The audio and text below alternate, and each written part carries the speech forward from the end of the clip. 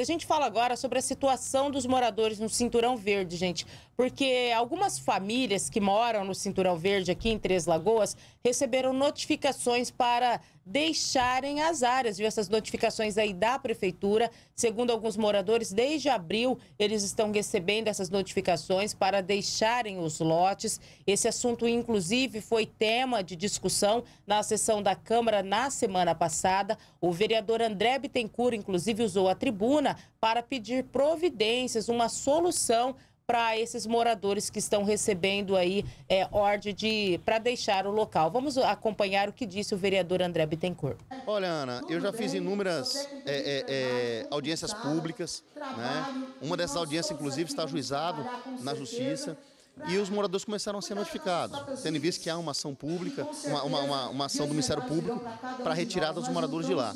Mas tem moradores lá que estão tá há 40 anos, tem moradores lá há 30 anos. Como retirar esses moradores de lá? Então nós temos que ter um pouco de cautela, porque eles não têm também o conhecimento. Quando você recebe uma notificação para sair em 30 dias, automaticamente todo mundo tem desespero, né? porque a vida deles está ali, eles não têm para onde ir. E eu conclamo, já, já, já falei com os vereadores, nós precisamos ter uma comissão criada do Centrão Verde e nós vamos interferir nisso para que os moradores não saiam de lá. Isso não pode acontecer. Então tem inúmeras pessoas me ligando e, e nós temos que criar um plano, temos que criar uma situação dentro do Cinturão Verde para que os moradores não saiam de lá.